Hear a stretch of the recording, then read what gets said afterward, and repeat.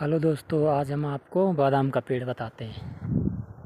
बताते नहीं, दिखाते हैं। ये है बादाम का पेड़। नीचे से ऐसा होता है और ऐसा होता है, काफ़ी बड़ा होता है। ये है कागज़ी बादाम का पेड़।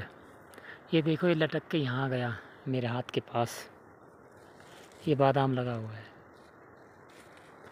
ये कागज़ी बादाम है। ये बहुत लगा होता है। ये देखो बादाम बादाम लगा हुआ है।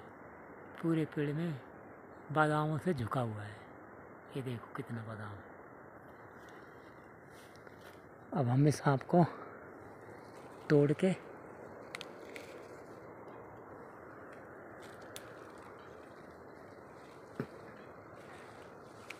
तोड़ा ये बादाम। इसको मुँह से हम फोड़ेंगे। मुँह से फोड़ते हैं इसको। फोड़ा मैंने। अब इसमें देखो, ये बादाम निकला। इसमें ये बादाम निकला है। ये देखो दोस्तों एक कच्चा बादाम है अभी। बादाम कच्चा है।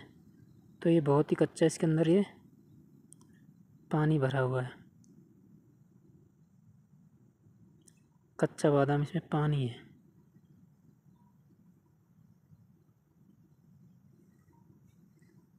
ये ऐसा होता है।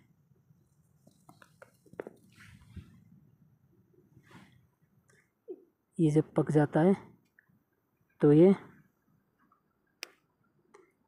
ये छिलका अलग होता है यहाँ से। ये छुलका अलग हो जाता है और ये गिट्ठा वाला निकल जाता है। इसमें डबल छुलका होता है। कागज़ी बादाम बोलते हैं इसको।